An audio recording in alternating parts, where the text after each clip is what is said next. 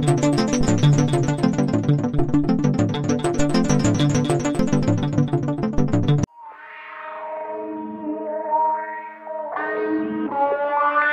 Passaria no? si existís aquest nou rol social que fos el treballador emprenedor i llavors de quina manera podríem articular eh, les funcions i les activitats d'aquest eh, treballador emprenedor.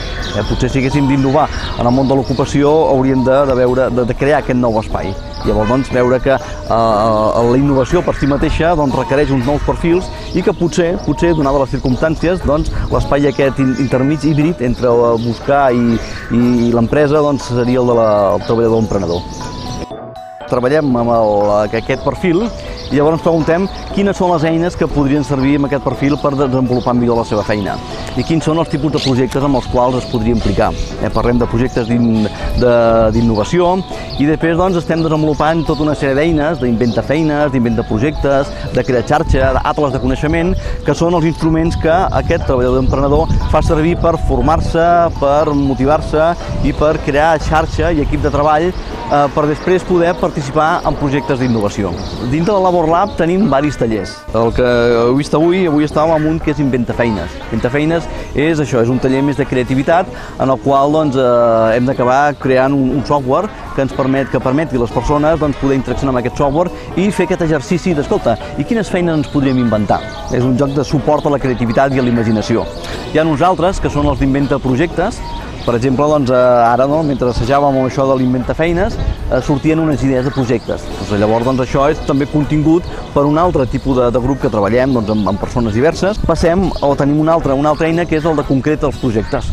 Llavors és quan hi ha aquella idea que semblava interessant, doncs, doncs amb, amb 5-10 sessions doncs, es converteix en un projecte de, de, d'això, de, per, per tirar endavant. Part també tenim el que són els atles de coneixements el que fa és plantejar una aproximació visual a la, a als teus coneixements i competències i habilitats.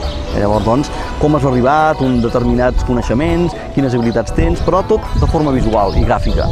Hem estat explorant en diferents perfils i hem treballat amb joves entre 16 i 20 anys, amb joves també de 20 a 25, hem treballat amb perfils universitaris, hem treballat doncs, amb gent de més de 55 anys i llavors busquem, no? aviam com testejar el, el perfil aquest de treballador emprenedor, que són persones que treballen en xarxa, i que de vegades no volen ni tan sols muntar una empresa i que no tenen l'inquietud de muntar una empresa. Si un cons cal, per una banda, socialitzar la tecnologia, és a dir, els enginyers van fent invents que després transporten a la societat i la societat s'ha d'adaptar a aquests invents, però no pot ser una adaptació eh, de qualsevol manera, sinó que la societat ha de poder dir com vol i com necessita i qui, què, què en vol treure de tots aquests invents. Per tant, s'ha de socialitzar la tecnologia i per l'altra banda doncs, tenim també que la tecnologia fa propostes i que d'alguna manera tecnifica la societat.